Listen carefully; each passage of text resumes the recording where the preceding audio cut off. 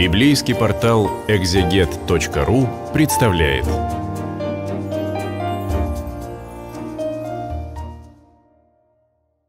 На библейском портале «Экзегет» мы продолжаем чтение книги «Премудрости Иисуса, сына Сирахова», 22 глава. Иные пороки, присущие человеку, обличаются в ней, и их преодоление, э, пути от них избавления указывает мудрый наставник сыну своему. Грязному камню подобен ленивый, всякий освищет бесславие его.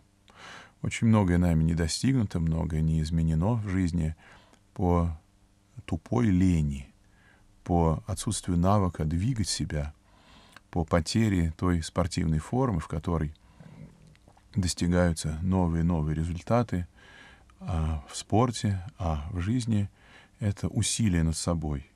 Воловьему помету подобен ленивый. Всякий, поднявший его, отряхнет руку. Столь тягостно для близких то, что происходит с человеком ленивым. Его неспособность понудить себя к труду, к созидательной деятельности, внутренней, внешней, э, вызывает отвращение у окружающих. Итак, грязный камень, воловий помет. Э, что еще ярче сказать, чтобы побудить нас от ленности к тем добрым трудам, к которым мы призваны. Стыд отцу рождения невоспитанного сына.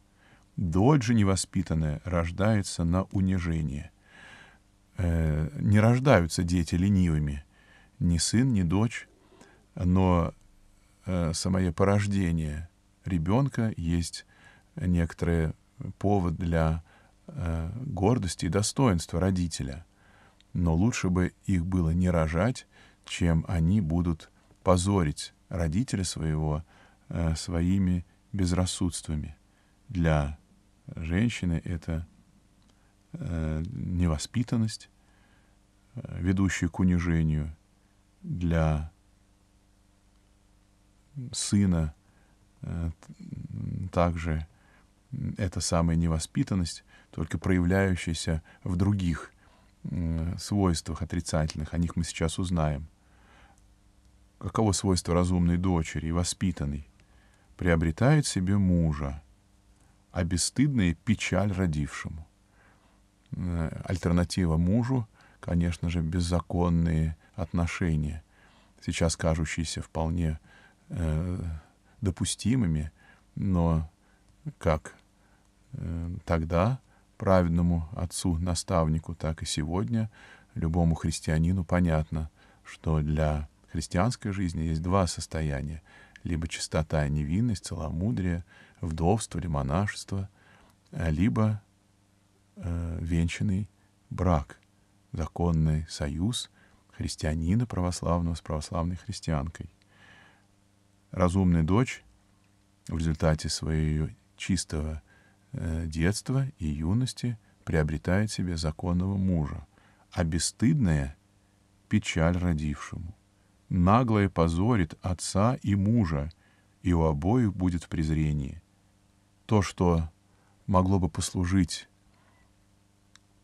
девушке к великому благу ее, служит в результате к приобретению позора и стыда. Такова сила женского обаяния, женской красоты, женственности. Награжденные ею могут употребить ее как для одного, так и для другого. Все дело в расположении сердца. Не вовремя рассказ тоже, что музыка во время печали. Надо чувствовать, э, надо стремиться понять, что может услышать человек в данную минуту — и сообразовывать слово свое с устроением слушателей. Наказание же и учение мудрости прилично всякому времени. Поучающий глупого тоже, что склеивающий черепки или пробуждающий спящего от глубокого сна. Не ко всякому приложимо э, всякое слово. И Господь иным говорил о Царстве Небесном прямо, а иным в притчах, сообразовываясь с уровнем и расположением сердца слушающих. Рассказывающий что-либо глупому, то же, что рассказывающий дремлющему. Спит человек, а ты ему вещаешь что-либо. который по окончании спрашивает, что? Он ничего не слышал. Он спал. Э, спал он в своей безрассудности. Плач над умершим, ибо свет исчез для него. Плач и над глупым, ибо разум исчез для него. Меньше плач над умершим, потому что он успокоился, а злая жизнь глупого хуже смерти. Плач об умершем семь дней, а о глупом и нечестивом все дни жизни его. Э, чудное наставление. Не раздражайся, не гневайся, не расточай понапрасну бисер слов твоих там, где э, невозможно их услышать, ибо тот, кто мечет бисер свой перед свиньями, э, будет э, и сам попран после того, как они попру, будут попирать этот камень ценный своими копытцами. С безрассудным много не говори, и к неразумному не ходи. Многие спрашивают насчет продолжения дружества с людьми чуждыми благочестию, тогда как сами они уже встали на этот путь изменений благодатных. Э, знает такую э, проблему наставник добрый и говорит ясно, не ходи. Берегись от него. Почему? Чтобы не иметь неприятностей и не заморать себя столкновением с ним. Это столкновение можно воспринимать э, не только в перспективе какого-либо конфликта и противостояния, но и э, всякого э, содействия вместе с ним. Ходя с ним по путям его, ты непременно э, впадешь в э, грязь и замораешь самого себя. Уклонись от него и найдешь покой — и не будешь огорчен безумием его.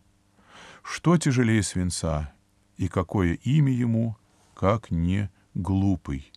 Ну, по-церковно-славянски это звучит еще более значительно. Паче олова, что тя чашче бывает, и что ему имя, токма буй. Имя буй. Тяжелое имя, безрассудный, безумный. Это не просто глупый. Легче понести песок и соль и глыбу железа, нежели человека бессмысленного.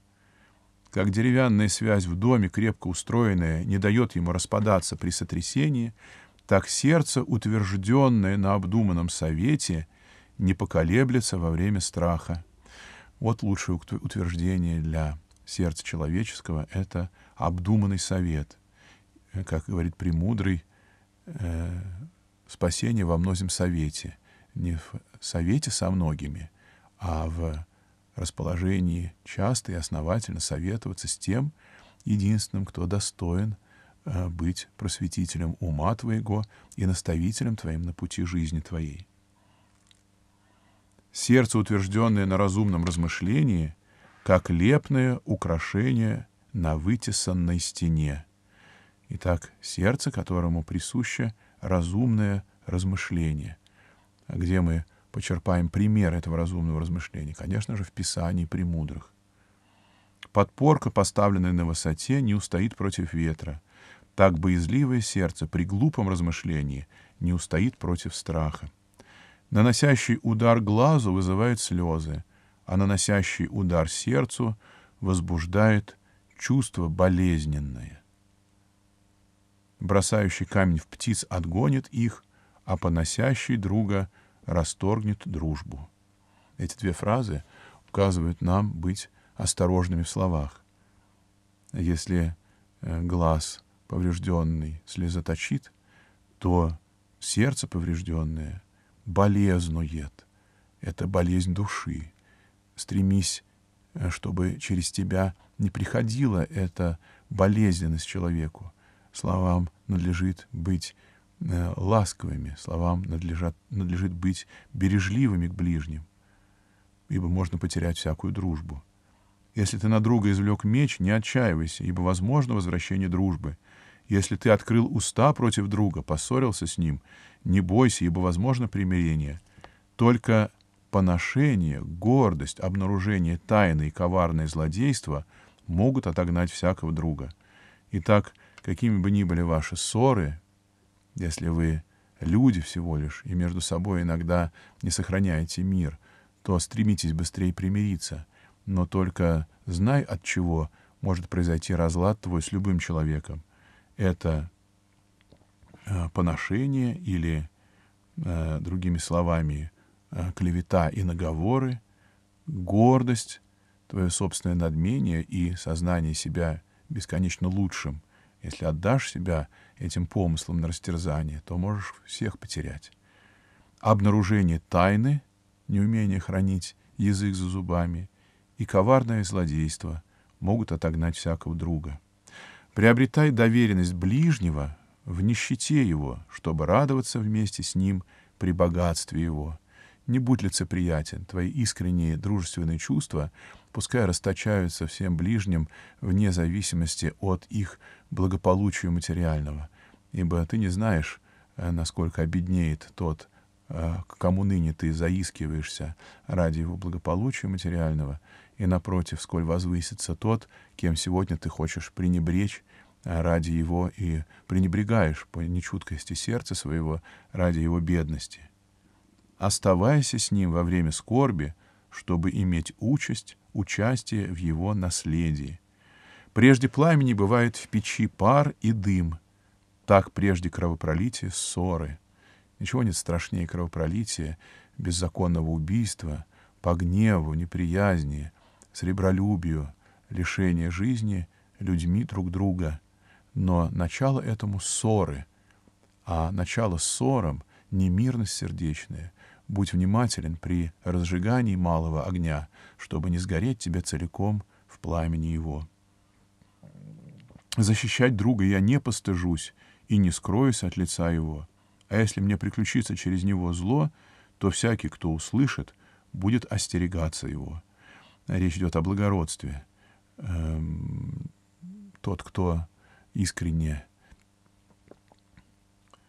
э, защищая ближнего своего, и потерпит какое бесчестие, то не э, будет и по этому поводу уничижен, и совесть его будет мирна и спокойна. А если не будет друг и достоин этой жертвенной любви и неблагодарным окажется, то будет только против самого себя свидетельствовать, а не против меня, жертвенной ему послужившему. Кто даст мне стражу к устам моим и печаль, и печать благоразумие на уста мои, чтобы мне не пасть через них и чтобы язык мой не погубил меня. Э, заканчивает 22 главу автор богодухновенный э, воздыханием, несомненным обращением к Богу, ибо кто, как Бог, может дать человеку благодать, э, надежным стражем оградить уста свои и печатью благоразумия, ибо близко падение всякого человека через безрассудное слово и великая благодать и благословение на освященном Богом и премудром слове.